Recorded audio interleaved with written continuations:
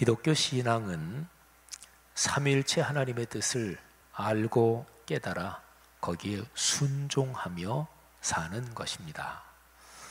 하나님께서 당신의 뜻을 드러내어 보여주시는 것을 계시라고 말해요. 근데 하나님은 어, 하나님의 계시는 성경 말씀을 통해서 사람들에게 드러납니다. 말씀이 우리에게 오는 방식이 두 가지가 있어요. 첫째가 들리는 말씀인 설교, 그리고 두 번째가 보이는 말씀인 성례입니다. 개인적으로 집에서 말씀을 묵상하고 말씀을 읽는 것도 말씀이 우리에게 오는 통로지만 공적인 가장 중요한 통로는 들리는 말씀인 설교, 보이는 말씀인 성례전입니다. 그래서 신앙생활에서 공예배의 자리를 지키는 것이 아주 중요한 것이 그 때문이기도 합니다. 오늘 우리는 설교의 선포를 듣고 성찬에 참여합니다. 말씀의 계시를 통해 성도 여러분의 삶과 또 오늘날의 우리 사회 그리고 동아시아의 하나님의 은혜가 넉넉하기를 주의 이름으로 축복합니다. 아놀드 토인비는 그의 유명한 저서지요 역사의 연구에서 인류 역사는 도전과 응전의 연속이라고 말했습니다. 역사에서 살아남고 후대 후세에 영향을 끼친 문명들이 있는데 그런 문명들은 거의 모두가 사람에게 어려운 환경에서 발생했다고 토인비는 얘기합니다. 자연 환경의 위험 또는 민족들의 틈바구니에서 겪는 생존의 위협 이런 속에서도 굴복하지 않고 지혜와 용기로 그 상황들을 이겨낸 민족 또 그런 문명이 살아남았습니다. 현실적으로 이스라엘 민족이라는 현실적인 혈통, 그 이스라엘 민족, 이스라엘 국가가 바로 그런 대표적인 사례 중에 하나지요.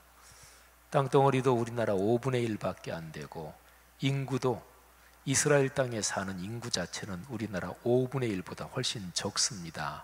그런데 그 수많은 이슬람 아랍 국가 안에서 또는 전 세계 안에서 아주 강한 국가로 강한 민족으로 살아가고 있죠. 개인이든 집단이든 가장 어려운 것은 외부의 공격이 아닙니다. 내부의 분열, 이게 어렵고 또 내부의 첩자가 외부의 적과 손을 잡는 내통 이것이 어렵습니다. 그러니까 내분 또는 내통 이 내분과 내통이 진짜로 어려운 것인데 이것 때문에 개인도 쓰러지고 집단도 무너집니다. 한 집단이나 사회 또는 크게 국가가 내분과 내통으로 무너지고 망하는 것은 역사에서 쉽게 사례를 많이 찾아볼 수 있습니다. 월남이 패망한 것은 내부의 부패와 그리고 내부의 분열 때문이었습니다. 내부의 첩자 또는 이중 스파이가 전쟁이나 또는 기업 사업 간의 경쟁 뭐 등등 모든 상황에서 결정적인 역할을 한다. 이거는 뭐 상식적인 거죠. 미국이 아주 강하지요. 여러 가지 이유가 있는데 미국이란 나라는 위기 상황이 국가적인 위기 상황이 발생한다. 그러면 국내에 보수 진보가 없고 또는 공화당 민주당 없고 이 국가적인 위기 상황에서는 하나로 강력하게 뭉칩니다. 이게 이제 미국이 강한 이유 중에 하나지요. 내분과 내통은 집단만이 아니라 개인 나 한 사람 안에서도 일어납니다. 어떤 일을 하면서 처음에는 확신을 가지고 또 용감하게 하다가 어려움이 닥칠 때, 야, 이거 할 수 있을까? 아유, 끝까지 해낼 수 있을까? 마음에 의심이 일어나고 마음이 약해지고 그런 마음이 갈라진다는 거거든요. 그게 바로 개인의 경우에 일어나는 내분이라고 말할 수 있습니다. 그런 상황에서 자신을 공격하고 어렵게 만드는 어떤 사람의 말이나 거짓 정보, 어떤 환경, 여기에 귀가 솔깃해지고 자꾸 글로 마음이 쏠리는 거, 이게 개인의 경우로는 내통이라고 말할 수가 있죠. 어려운 상황에서 가장 중요한 것은 마음이 약해지지 않는 것입니다. 그러니까 마음을 지켜야 돼요. 그리고 마음을 굳게 먹어야 됩니다. 어, 려운 병 때문에 저한테 이제 기도 받으러 오시는 성도님들한테 제가 꼭 말씀드리는 게 있어요. 마음 약해지시면 안 됩니다. 암 치료 받으려면 또 길게 갈 수도 있는데 마음이 약해지면 그러면 절대로 안 됩니다. 마음이 용감하셔야 됩니다. 이 얘기를 제가 꼭 드립니다. 연세가 점점 드셔서 뭐 젊을 때하고는 뭐 몸이 다르잖아요. 뭐 허리도 망가지고 관절도 그렇고. 근데 연세가 드실 때 제일 중요한 게 마음이 약해지시면 안 돼요. 그러니까 에이까지 그뭐 나은 나이가 드니까 그동안 잘 썼는데 조금 망가진 거지 뭐 그까지 거 이런 용기와 배짱이 있으셔야 돼요. 그러니까 어떤 일에서든지 마음을 굳게 지켜야 됩니다. 사랑하는 성도 여러분들이요. 우리가 걸어가는 인생 여정에서 이런저런 어려움이 닥쳐올 수 있는데 그런 가운데서 마음이 굳세시기를 주의 이름으로 축복합니다. 하나님의 도우심 그리고 또 우리는 신앙인이니까 더군다나 믿음을 가지고 그리고 우리의 마음이 신앙의 용감한 그런 상태로 늘 무장되어 있기를 주의 이름으로 권면합니다. 자, 느헤미야서를 살펴보면 내분과 내통 이런 어려운 일이 발생하는데 그거를 어떻게 이겨냈는지가 기록이 되어 있습니다. 느헤미야가 예루살렘 성 재건을 위해서 헌신하잖아요. 계획을 세워 가지고 추진합니다. 근데 산발럿과 그 일당들이 계속해서 집요하게 공격을 합니다. 심리전으로 공격하고 또 무력 공격을 세워서 무력으로 협박하고 위협합니다. 그들이 느헤미야와 함께 성의 재건에 참여하는 유다 사람들을 또 회유합니다. 사람이 어떤 일을 할 때 정정당당하게 얘기할 거 있으면 앞에서 얘기하고 또 의견 표명할 거 있으면 객관적으로 의견 표명하고 이러면 좋은데 뒤에서 하는 사람이 있지요. 숨기고 하는 사람이 있지요. 몰래 사람의 마음을 훔치는 게 있지요. 이게 회유죠. 이게 참 감당하기 쉽지 않습니다. 근데 산발랏과 그 일당이 느헤미야와 같이 성재건에 헌신하는 사람들을 자꾸만 회유합니다. 꽤 많은 유다 사람들이 마음이 약해졌습니다. 어차피 성재건 완성하는 게 아무래도 안 되겠다. 그냥 이쯤에서 우리 그만하자. 이런 사람들도 꽤 생겼어요. 그리고 유다 사람들 중에서 산발랏과 그 일당과 손을 잡고 첩자 역할을 하는 사람도 생겼습니다. 또 무력 공격한다 이 계획도 지속적으로 수위가 높아지면서 아주 강하게 압박이 들어옵니다. 그런데 이런 상황 속에서도 느헤미야는 어, 쫄지 않고 그야말로 용감하게 한편으로 하나님께 기도하고 한편으로는 현실적으로 정확하게 대처하면서 계속 일을 추진합니다. 그래서 예루살렘 성이 전부 연결이 돼요. 다 무너졌었는데 성문, 성벽, 망대 전부 쫙 연결이 되고 높이는 한 절반 이상으로 올라갑니다. 하나님의 은혜지요. 첫째가 하나님의 은혜고 그 다음이 하나님을 믿고 일을 추진하는 느헤미야라는 지도자의 지도력입니다. 그리고 또 중요한 것이 느헤미야와 함께 일하는 사람들의 마음이 하나가 된 결과였지요. 자, 그런데요. 이런 상황 속에서 진짜로 심각한 어려움이 발생합니다. 성경을 가만히 읽다 보면 느헤미야도 지금 이런 상황 속에서 무지무지한 어려움이 발생하자 상당히 긴장한다. 이런 거를 조금 깊게 들여다보면 눈치챌 수가 있습니다. 느헤미야서 5장에 발생한 상황입니다. 자, 한번 제가 읽어 드릴 텐데요. 느헤미야서 5장 1절부터 5절을 제가 세 번역 성경으로 낭독하겠습니다. 그러니까 어떤 어려움이 발생했는지 상황을 한번 짐작을 해 보십시오. 백성 사이에서 유다인 동포를 원망하는 소리가 크게 일고 있다. 부인들이 더 아우성이다. 여러분, 여자분들이 한번 성질이 난다. 그러면 인류 최악의 상황이 되는 거죠. 부인들이 더 아우성이다. 더러는 이렇게 울부짖는다. 우리 아들, 딸들, 거기에다 우리까지 이렇게 식구가 많은 입에 풀칠이라도 하고 살아가려면 곡식이라도 가져오자. 또 어떤 이들은 이렇게 울부짖는다. 배가 고파서 곡식을 얻느라고 우리는 밭도 포도원도 집도 다 잡혔다. 또 어떤 이들은 이렇게 외친다. 우리는 왕에게 세금을 낼 돈이 없어서 밭과 포도원을 잡히고 돈을 꾸어야만 했다. 또 더러는 이렇게 탄식한다. 우리의 몸이라고 해서 유다인 동포들의 몸과 무엇이 다르냐?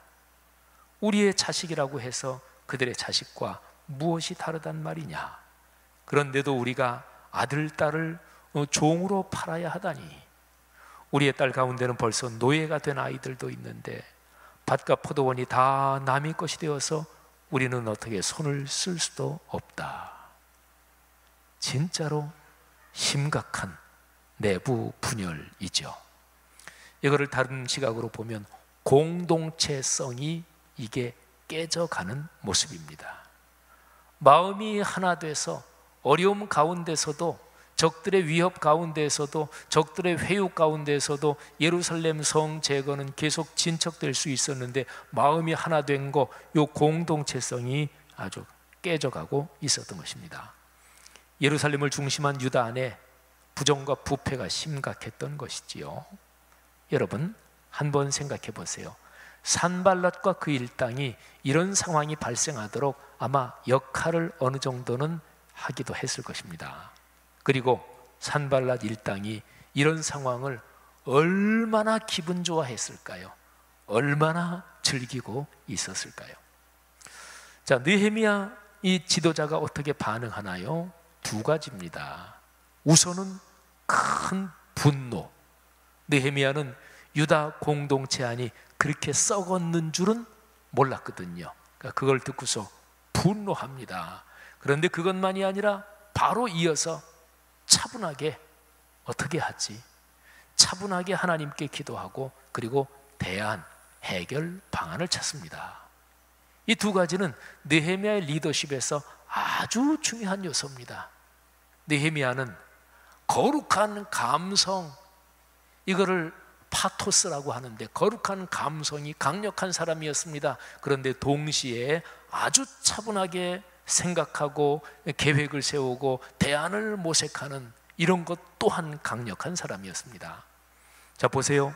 6절과 7절 초반을 제가 개혁 성경과 그리고 이어서 세번역 성경으로 한번 읽어 드리겠습니다. 내가 백성의 울부짖음과 이런 말을 듣고 크게 노하였으나 깊이 생각하고 자 이제 세 번요. 그들의 울부짖음과 탄식을 듣고 보니 나 또한 치밀어 오르는 분노를 참을 수가 없다. 나는 그들이 울부짖는 내용을 신중하게 살핀 다음에 느헤미야는 분노했습니다. 그런데 느헤미야는 당연히 기도했을 것입니다. 그리고 상황을 신중하게 살피고 현실적인 해결 방안을 철저하게 연구하고 찾았습니다. 어떤 집단에서든지 그 집단에서 지도적인 자리에 올라갈수록 반드시 필요한 게 이거 문제야. 이거 큰일 났잖아. 그것만 하면 안, 그건 지도자가 아니에요. 그러면 어떻게 하지? 어떻게 해결하지? 대안이 뭐지? 요 지금 발생한 상황에서 이게 잘 해결돼서 어떻게 하면 내 가정이 어떻게 하면 우리 교회가 어떻게 하면 우리 회사가 한 단계 더 발전하지? 요 문제 발생한 상황에서 하나님께서 주시는 축복이 뭐지? 이거를 생각해야 지도자입니다. 사랑하신 여러분, 가정과 또는 사회 직장 교회 공동체에서 지도적인 직분을 맡고 있는 모든 분들에게 이런 귀한 은총이 넘치기를 바랍니다. 느헤미야는 기도하고 그리고 철저하게 상황을 파악하고 그리고 대안을 딱 모색하고 그리고 나서 드디어 행동합니다. 자, 7절부터 느헤미야가 행동하는 것을 제가 읽어 드리겠습니다. 귀족들과 민장들을 꾸짖어 그들에게 이르기를 너희가 각기 형제들에게 높은 이자를 취하는도다 하고 대회를 열고 사람들 싹 다 모은 거예요. 그들을 쳐서 그들에게 이르기를 네헤미야가 굉장히 강력하게 나가지요. 그들을 쳐서 아주 강하게 직선적으로 얘기하는 거예요.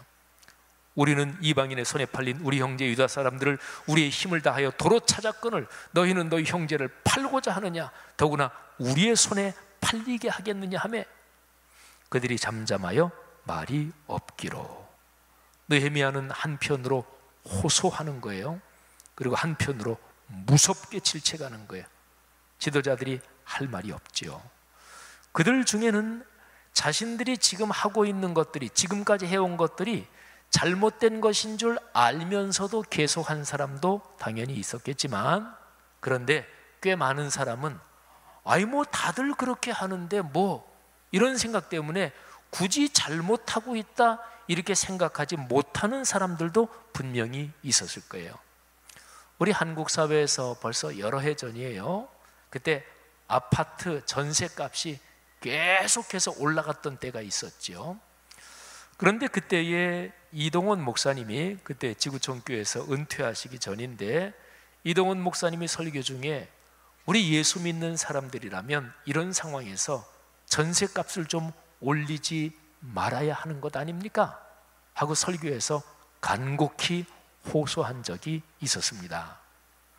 아마 이동원 목사님의 설교를 들은 지구촌 교회 성도들 가운데 아파트 한 채, 두 채, 이동원 목사님 그때 여러 채 갖고 있는 사람들 올리지 말자 이런 설교를 하신 걸로 아는데 그분들 중에서는 어, 나 아파트 갖고 있고 전세값 다 올라가고 어, 그러니까 올리고 그렇게 생각했는데 그 설교를 듣고서 아 맞아 그리스도인이라면 이런 가운데 내가 경제적으로 수익이 조금 줄어들더라도 올리지 말아야지 그 설교를 듣고 자신들이 그저 그렇게 해온 게 잘못이라는 것을 깨달은 사람도 있었을 것입니다.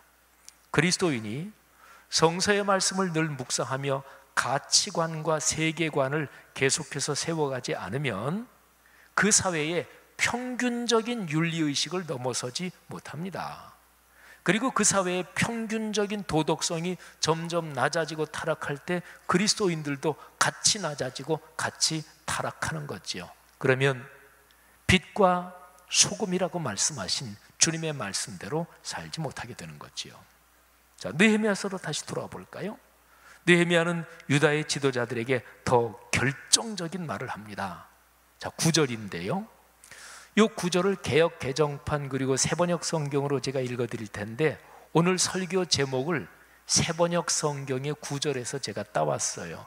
웃음거리가 되지 않으려거든. 이게 설교 제목이죠. 자, 9절 먼저 개혁 개정판입니다. 내가 또 이르기를 너희의 소행이 좋지 못하도다. 우리의 대적 이방 사람의 비방을 생각하고 우리 하나님을 경외하는 가운데 행할 것이 아니냐. 자, 이제 세 번역. 내가 말을 계속하였다. 당신들이 한 처사는 옳지 않습니다. 이방인 원수들에게 웃음거리가 되지 않으려거든 하나님을 두려워하면서 살아야 합니다. 아멘. 남에게 웃음거리가 되는 것처럼 비참한 일이 없습니다. 더구나 대적들에게 말입니다. 더더구나 내가 하나님의 뜻에 헌신하고 있다고 믿는 상황에서 아 이거는 분명히 하나님의 일이야 그 일을 하는 상황에서 대적에게 웃음거리가 되면 하나님의 이름이 조롱거리가 되는 것 아닙니까? 그리스도인은 진정으로 하나님을 경외해야 마땅한데 이런 일은 없어야 되는 거죠. 여러분 느헤미야는 이어서 자기와 자신의 측근들이 솔선수범을 보이겠다고 공개적으로 다짐합니다. 그러면서 더 요청하지요. 가난한 사람들에게서 받은 밭, 포도원, 감남원, 집 등을 돌려주자. 그동안 그들에게서 받은 돈, 양식, 세포도주, 기름 이런 것들의 백분지 일을 돌려보내자 이렇게 호소합니다. 자 그런데 너무나 감사한 것은 유다의 지도자들이 느헤미야의 호소와 요청에 순종해요. 할렐루야지요. 그 상황은 그 지도자들이나 모인 사람들이 호응을 하지 않으면 공동체성이 그냥 깨지고 예루살렘 성 제거는 그냥 중단될 상황이었습니다. 느헤미야가 얼마나 기도했겠어요. 그리고 얼마나 간절히 호소하고 그리고 강력하게 요청했겠어요. 그런데 하나님께서 역사하신 것입니다. 그래서 그 사람들이 예 그렇게 하겠습니다. 순종하지요. 그런데 중요한 것은 그 사람들이 그렇게 순종하겠다고 대답을 하는데 느헤미야는 그러면 이제 어떻게 일을 진행하냐면 공적으로 진행해야 된다. 이 얘기를 느헤미야가 해요. 공적으로 진행을 시킵니다. 이게 참 중요합니다. 어떤 일을 할 때 사사로이 사적으로 개인적인 인간관계 얽혀서 그러면 공적인 게 무너져요. 교회도 마찬가지고 그리고 국가와 사회 모든 기업체 이런 것도 마찬가지지요. 그래서 공적인 명분이 중요한 것입니다. 사적인 인간관계 이런저런 게 영향을 미치지 않을 수는 없겠지만 어느 선을 넘어서면 안 되는 거죠. 자, 느헤미야가 어떻게 공적으로 진행시키나 보세요. 12절, 13절의 기록이 그건데 느헤미야는 네 단계로 진행시킵니다. 첫째는 그들이 순종하겠다고 실천하겠다고 약속을 먼저 하게 하고요. 두 번째는 공증을 합니다. 우리 중요한 거 변호사나 공증 사무실에서 공증하면 법적인 이게 효력을 갖잖아요. 느헤미야가 그걸 해요. 그다음에 세 번째 하나님의 심판에 걸어서 한 번 더 공증합니다. 그리고 나서 드디어 실행합니다. 볼까요? 제가 12절 13절을 이 네 가지 고기에 맞춰서 끊어서 읽습니다. 자, 순종의 약속. 그들이 말하기를 우리가 당신의 말씀대로 행하여 돌려보내고 그들에게서 아무것도 요구하지 아니하리이다. 자, 그들이 순종의 약속을 한 거죠. 근데 느헤미야가 공증하게 합니다. 내가 제사장들을 불러 그들에게 그 말대로 행하겠다고 맹세하게 하고 여러분 그 당시에 그 관행으로 제사장들 앞에서 맹세하면 그게 요즘에 하는 공증이에요. 그러니까 사람들이 다 순종하겠습니다. 그랬더니 느헤미야가 자 제사장들 좀 일로 오십시오. 그리고 제사장들 쭉 앞에 세워놓고 제사장들 앞에서 다시 한번 맹세하십시오. 하나님 앞에서 맹세하는 거죠. 그 당시로 사회적인 공증입니다. 세 번째로 하나님의 심판에 걸어서 다시 한번 공중하고 쐐기를 박습니다. 자, 본문 읽어볼까요?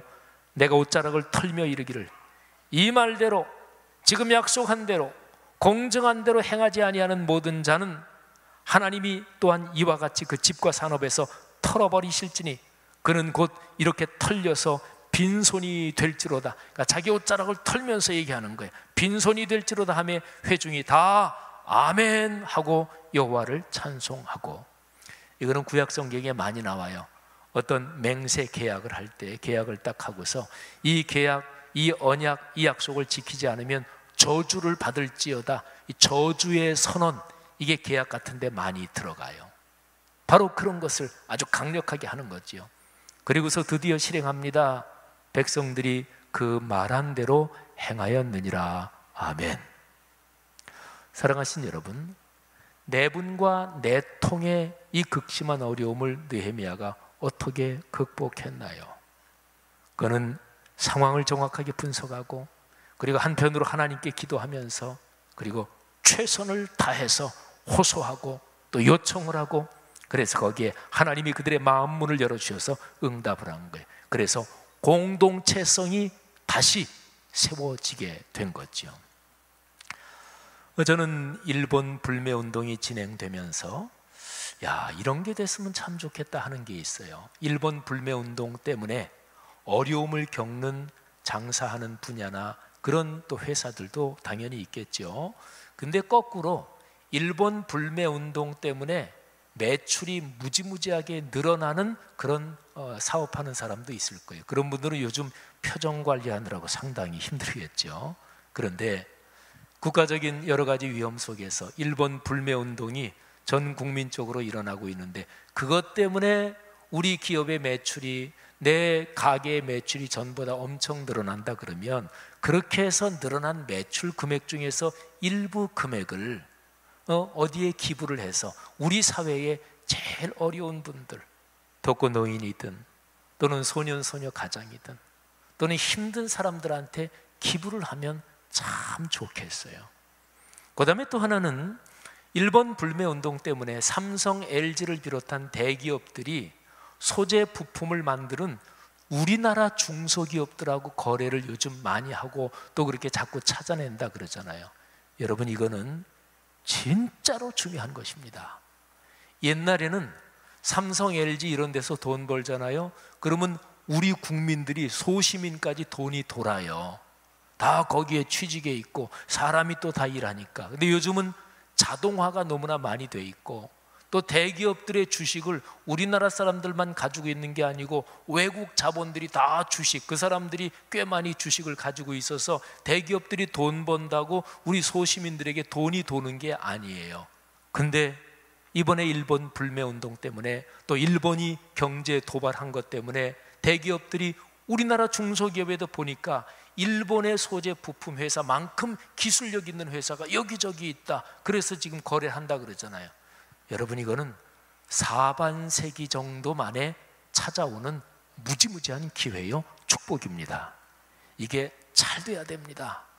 그래서 우리나라 대기업들이 열심히 세계적으로 잘하고 그리고 우리나라 중소기업 작은 회사들이 탄탄하고 이런 기회에 중소기업들은 진짜로 기술력 좋게 그리고 진짜로 제품을 최고의 품질로 승부를 걸고 만들어야 됩니다.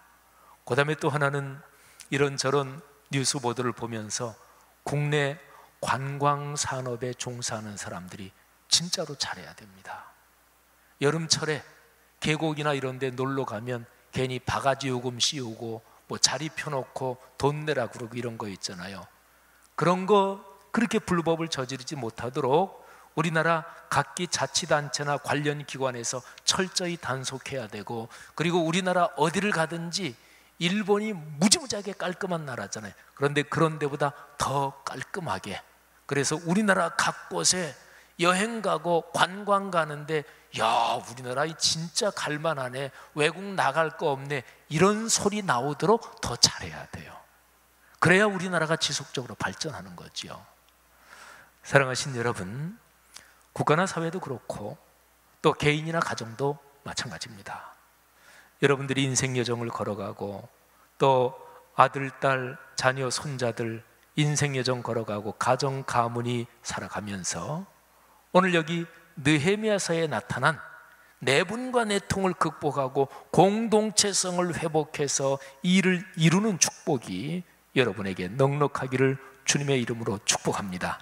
하나님의 뜻에 걸맞은 일에 헌신하면서 웃음거리가 되지 않도록 신앙의 용기를 가져야 되고 현실적인 지혜를 가져야 합니다. 여러분의 가정과 가문, 우리 사회와 국가의 현재 상황에 오늘 느헤미야서의 말씀이 큰 힘으로 작동하기를 주의 이름으로 축복합니다.